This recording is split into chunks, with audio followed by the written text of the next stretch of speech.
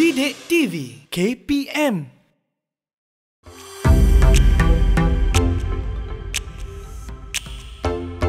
Assalamualaikum. Selamat datang ke program Jom Teater Sekolah Menengah Peringkat Kebangsaan 2020. Saya Zaifri bin Husin selaku fasilitator bagi bengkel asas lakonan. Apakah takrif teater?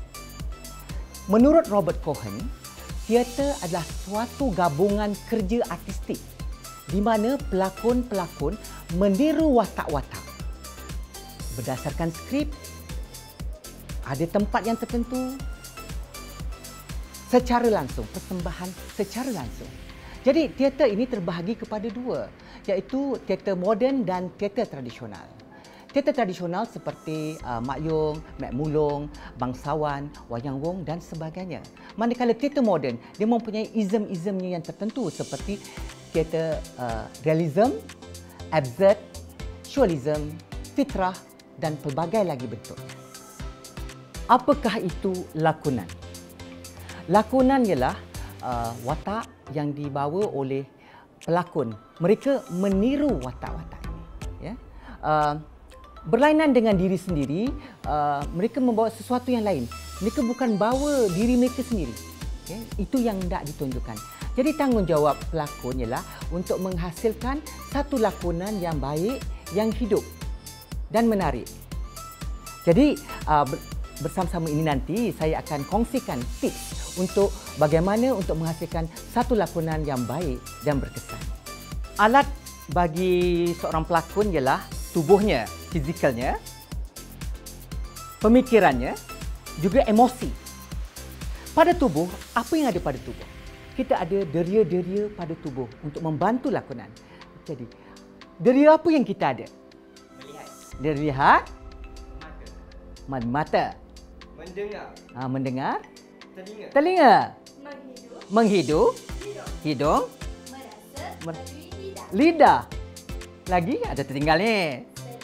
Sentuhan. Sentuhan. Jadi, uh, adalah penting uh, kepekaan deria ini uh, kepada seseorang pelakon supaya dia sedar dan alert. Ya, kita lihat semula uh, bagaimana tindak balas tindak balas uh, kepekaan deria ini kepada pelakon. Jadi kalau saya katakan dalam satu ruang, ruang sekitar, ruang, ruang lingkup. Jadi saya bagi assignment satu.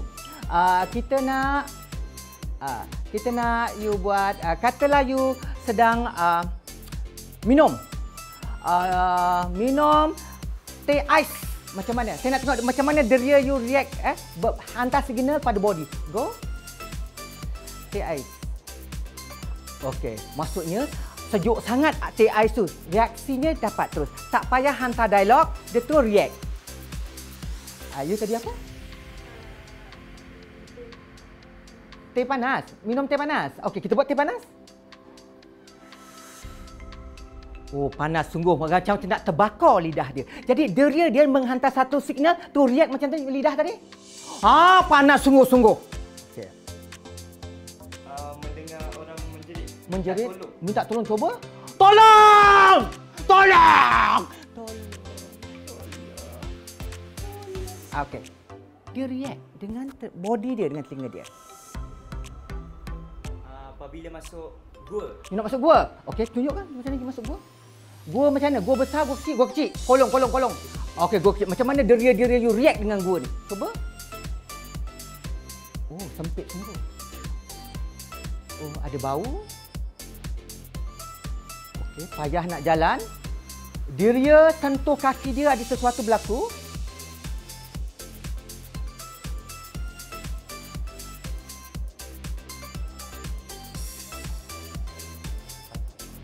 Oh, akhirnya dia jumpa batu. Okey, terima kasih. Uh, jadi, uh, ini contoh-contoh. Kita cuba lagi. Kalau saya nak you buat tempat yang licin. Dia dia sentuh. Licin. Ada sabun banyak. Sabun banyak. Okey. Concentrate. Body, body.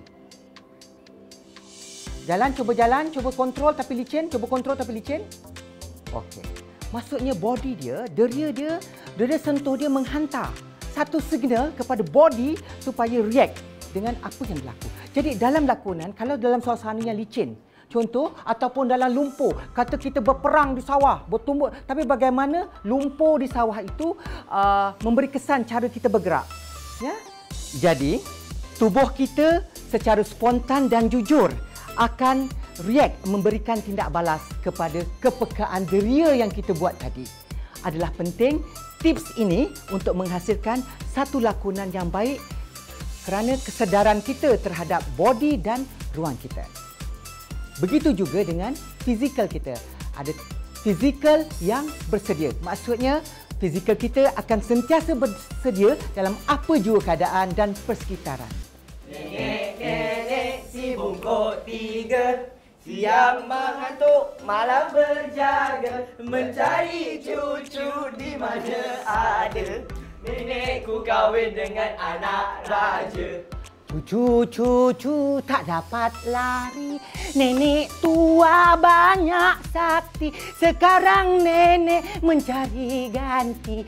Siapa yang kena Dia yang jadi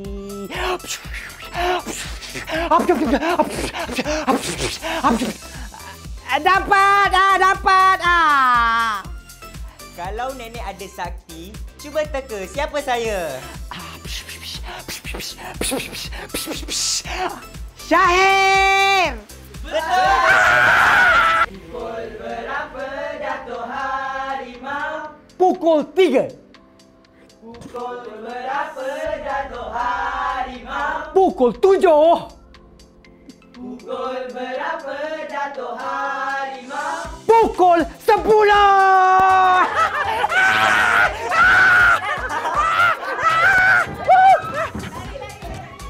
Ha, dapat, dapat, dapat, dapat, dapat, dapat. Tuan-tuan perempuan, adik-adik sekalian. Permainan teater ataupun theater games ini sangat penting untuk membantu memberikan tenaga, memberikan uh, semangat kepada para pelakon supaya mereka lebih bersedia. Body mereka lebih bersedia untuk latihan yang seterusnya seperti untuk warm up uh, vokal dan juga olah tubuh. Jadi jadikan permainan teater ini sebagai salah satu exercise atau latihan dalam latihan teater. Itu tips saya. Didik TV KPM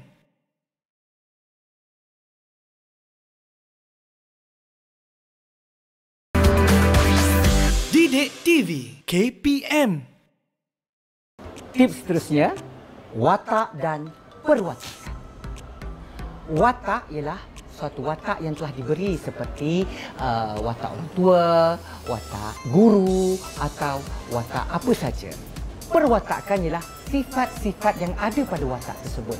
Tetapi untuk mengetahui sifat-sifat, mestilah kita tahu latar belakang pendidikannya, usianya, um, habitnya, uh, adakah ia dihormati dalam masyarakat dan watak ini mesti ada biodata dia, latar belakang dia, macam mana lah, macam mana uh, boleh menjadi seperti itu. Jadi biodata watak itu penting ya untuk membina perwatakan. Kalau dalam uh, perwatakan ini mereka kena ada suara ya. Suara. Jadi suara ini uh, digunakan dalam perwatakan tersebut. Katakanlah suara itu ialah berusia sekarang umur berapa? 15. Okey, suara 15 saya nak dengar. Ini 15 tahun. Saya nak suara uh, 50 tahun? Oh, kita cuba kuat lagi ya. Kalau umur 100 tahun? Cik, cikgu saya dapat lah 150 tahun? Cikgu saya dapat lah Ah, tu dia. Boleh dipercayai? Boleh. di- Jadi, suara ini kita sesuaikan dengan umur dalam cerita kita, watak yang kita pegang. Ya, kita sesuaikan supaya ia boleh dipercayai dan penonton tak kata, ah, bohonglah. Eh, baguslah. Memang kena suara tu dengan watak dia. Walaupun kita muda. Okey? Berapa umur sekarang? 16. 16. Okey. Uh, buat satu line, satu line. Uh, saya nak umur 5 tahun. Mama, nak susu? Dua tahun setengah. Ah, boleh dipercayai? Ah, okey. Ah, itu dia penting eh. Okey, yang belakang yang belakang kita kita tukar pula. dalam uh, perwatakan watak, watak boleh juga watak manusia, boleh juga watak binatang. Okey, kita cuba. Kalau watak binatang, you pilih apa? Kucing. Kucing. Okey, kita dengar suara kucing. Hello, suara dia.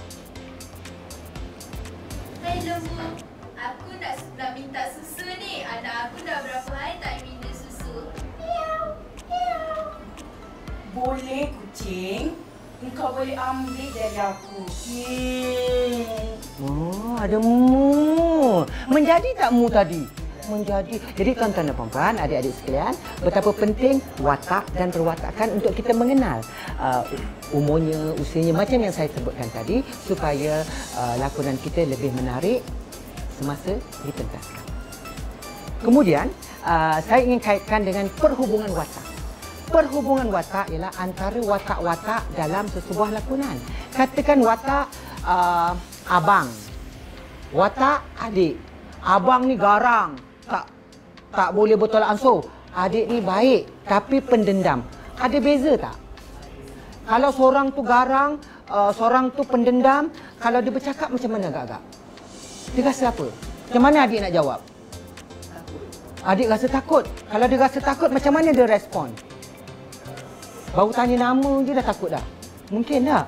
Kalau abang tu macam mana? Kalau abang? Yang garang kan tu. Dia ikut suka dia. Ha, macam mana kalau dia nak tanya apa-apa kat adik dia? Eh, kau buat apa? Ha tu. Uh, kalau watak lembu yang garang tapi dia watak lembu banyak susu tapi lembu banyak susu yang garang. Ha, macam mana agak-agak? Kau nak lem- kau nak susu ke? Pergilah cari sendiri. Oh, garang sungguh. Ha, jadi dia ada perbezaan ya. Jadi hubungan ini yang akan membezakan watak-watak. Perbezaan ini dan hubungan yang menentukan sebuah lakonan yang mantap dan menarik. Berdasarkan hubungan watak tadi, perwatakan antara pelakon-pelakon, ya, uh, kita akan dapat lihat konflik yang berlaku. Konflik pertentangan antara watak. Jadi konflik ini yang menentukan graf naik turun dalam sesuatu permainan pelakon itu tadi. Jadi uh, adalah sangat penting uh, pelakon-pelakon mengenal pasti uh, perwatakan yang mereka bawa, uh, perwatak suara yang mereka guna kena sesuai dengan watak yang dibawa dan ini akan dapat uh, menjadikan satu perwatakan itu menarik bila dipentaskan. Tips yang telah kita lakukan tadi ialah uh, membuat kajian ya, membuat kajian tentang watak. Jadi kita akan berusaha untuk mencari sejarah perwatakan. Uh, kita akan bila dia berlaku, kat mana dia berlaku, macam mana dia boleh berlaku, kenapa jadi macam itu. Kalau kita dapat menguasai perkara-perkara ini, kita dapat menghasilkan satu perwatakan yang baik dan menarik. Ya, uh, jadi uh, adalah penting untuk kita mengenal pasti siapa watak itu sebenar. Jadi uh, untuk tips bagi menjadikan watak ini lebih baik, uh, apa yang kita boleh buat ada satu tip yang saya boleh bagi seterusnya ialah pengamatan. Pengamatan dimaksudkan dengan kita mengamat. Mengamat ni maksudnya kita pergi di satu tempat, katalah dia penjual daging. Kita nak tengok macam mana penjual daging itu memotong daging. Dia ambil daging, dia buat apa? Ambil pisau, sah dia potong, ah, penjual daging. Kalau ikan macam mana penjual ikan? Dia akan buang sisik, buang apa. Kalau kita tak pernah tak pernah tengok watak ini, kita pergi melihat, kita pergi tinjau. Oh, dipanggil mengamat. Oh, macam ini rupanya. Ah, watak-watak ini ber- ah, watak-watak ini ya, macam ini rupanya mereka. Kalau seorang pengembala, pengembala kambing, macam mana cara dia? Oh, kita tengok dan kita bawa ke pentas. Kita bawa ke tempat latihan, tunjuk pada pengarah. Tunjuk pada pengarah, kalau pengarah kata sesuai, kemaskan lagi, kita kemaskan lagi. Ha, itu uh, tips yang saya dah bagi pengamatan. Didik TV KPM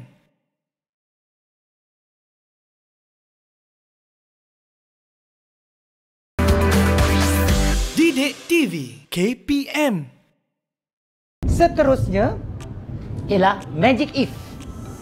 Magic If. Magic If ini dimaksudkan dengan kalaulah saya. Kalaulah saya, uh, kita bayangkan. Kalaulah saya menjadi uh, seekor jerung. Macam manakah saya, saya nak bercakap? Macam mana saya nak berenang? Macam mana saya gunakan badan saya? Kalaulah saya, magic if. Kalaulah saya menjadi seorang pembunuh upahan. Macam mana saya? Jadi magic if tu ada satu terms yang digunakan dalam uh, menghasilkan satu lakonan yang baik. Magic if kalaulah saya. Seterusnya ialah imbas kembali. Imbas kembali kalau kita menghadapi kesukaran untuk uh, mengeluarkan emosi. Jadi kita akan mengingatkan kembali semasa kita zaman-zaman dulu-dulu pernah kita menangis yang paling teruk pernah tak? Uh, pernah uh, gembira yang sangat gembira? Pernah kena marah yang paling kena marah sekali? Pernah kecewa yang paling kecewa sekali? Okey. Pengalaman-pengalaman ini kita simpan dan kita gunakan. Nak nak tunjuk apa? Apa? Gembira. Gembira yang macam mana? Gembira yang gila-gila. Okey, macam mana gembira gila-gila tu? Masa bila? Spend time dengan family. Okey, nine, go. Ingat balik rasa tu, go. Ayah, saya nak. Benda ni boleh tak ayah? Hmm, ada, tapi tak cukup. Okay, ini kali pertama. Ada rasa tapi tak cukup. Ya? Yeah? Cukup. Ya? Uh, sedih. Sedih, kenapa? Uh, sebab sedih. Uh, dia sedih sebab uh, ayah dia tak ada. Ayah dah tak ada pe- masa ayah baru meninggal. Ha. Okey, kesedihan masa ayah baru meninggal. Okey, imbas kembali atau memory recall kita ingat pada situasi itu. Okey, cuba ingat balik situasi itu. Okey. Dah ingat? Okey, lain. Ayah, kenapa ayah tinggalkan adik dengan Kenapa ayah tinggalkan adik cepat sangat? Adik rindukan ayah. Ayah, adik sentiasa rindukan ayah. Ayah, ten- pergilah dengan tenang. Adik sentiasa rindukan ayah. Hold. Ambil dialog saya sangat lapar, gunakan perasaan yang ini. Sangat rindukan ayah tadi. Perasaan tu Dua hari aku tak makan. Tak ada siapa-siapa pun yang nak tolong aku. Aku lapar. Lapar sangat. Maksudnya sampai berkesan menusuk hati dan perasaan. Ah, hanya digunakan teknik yang saya ajar, memory recall. Imbas kembali pinjam perasaan tu, kita pinjam perasaan tadi, kita letakkan dialog kita kat situ. Faham? Okey. Ini antara-antaranya yang dapat saya kongsikan kepada adik-adik sekalian tips-tips untuk membina bagaimana kita untuk membina satu lakonan yang baik. Tips seterusnya subtext. Dalam sesuatu skrip, dia ada teks dan dia ada subtext. Teks ialah line. Line ataupun dialog yang tertulis. Ya? Uh, subtext is sub dia. Maksudnya apakah yang ada di sebalik dialog tadi? Apakah yang tersirat? Sebenarnya dia nak cakap apa? Sebenarnya watak itu nak beritahu apa? Line itu cuma sebagai satu alat untuk kita salurkan perasaan kita. Kan? Ha, jadi apa sebenarnya? Apa yang tersirat? Bagaimana perhubungan antara dua watak ini? Jadi dalam subtext ini yang menentukan menarik atau tak menariknya sesuatu dialog yang kita lapaskan. Sebab dia menghantar maksud perwatakan yang dibawa, sifat-sifat yang dibawa. Jadi uh, dalam sesuatu uh, line yang kita sebut tadi, dia boleh boleh boleh juga uh, monolog ataupun dialog. Kalau dialog, eh, kalau monolog seorang. Monolog seorang. Eh, kalau kita berdialog maksudnya dua orang atau lebih. Ya, dua orang atau lebih. Jadi pergi kepada teks yang saya dah berikan. Ini teks ini dipetik daripada uh, skrip Ashura karya uh, uh, Johan Jaafar ya, Johan Jaafar. Uh, jadi kita belajar dalam kita nak sebelum kita boleh menyampaikan teks ini subteks kita kena tahu pasal sebutan. Sebutan kita mesti terang dulu supaya sampai kepada penonton. Okey. Now kita pergi kepada line yang pertama, mari kita sama-sama baca. Lili, kau ke mana? Udin, Kebun belum balik lagi. Abang nak jumpa dia ke saya? Kau pasal apa? Okey, tadi kita dah melalui satu proses latihan sebutan menurut suku kata. Tapi kali ini kita akan uh, berdialog berterusan tapi tanpa memberi pe, tanpa kita bercakap seketul-seketul tadi, suku kata-suku kata. Tapi memberi sebutan yang terang sebutan suku katanya. Okey, cuba kita buat. Bini kau ke mana? Kebun. Belum balik lagi. Abang nak jumpa dia ke saya? Kau. Kenapa? Kenapa tak bawa budak-budak datang ke sini?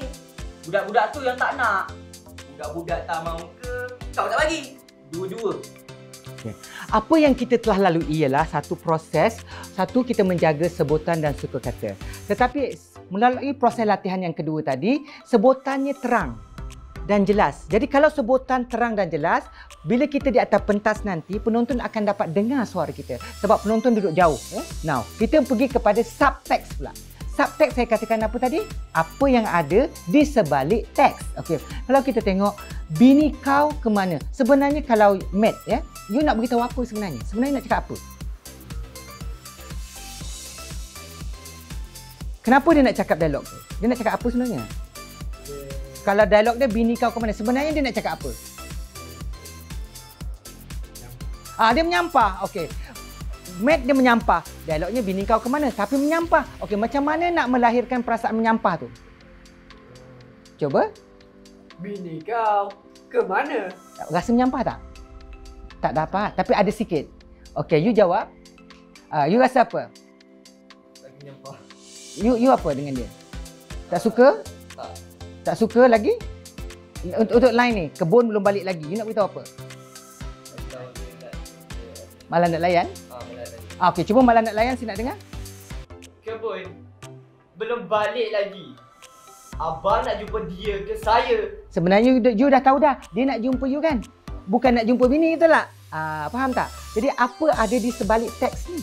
Ya, apa ada di sebalik teks? Apa yang kita sampaikan? Maksudnya dalam kita mencari subteks ini, kita kena dalam latihan, kita kena gariskan setiap baris dialog tadi, kita letakkan apakah emosi dia tidak sikit. Dan apakah konflik antara watak ini? Kenapa dia nak sebut? Sebab apa? Adik-adik, tuan-tuan dan puan sekalian, uh, subteks adalah satu perkara yang sukar ya sebenarnya. Tetapi ia boleh berlaku atau dia boleh terjadi, kita boleh capai dengan baik kalau kita berusaha bersungguh-sungguh untuk mendapat mencari mencari uh, dengan mendalam, kaji dengan mendalam setiap line itu. Kemudian kita kaji perwatakan tadi macam mana perwatakan dia. Kita kaitkan perwatakan dia tadi, kita dah cakap, ingat tak? Biografi watak. Ha, kemudian kita kita semak dengan subtext dia, barulah kita boleh menghasilkan line yang punch yang kita akan keluar. Ya. Didik TV KPM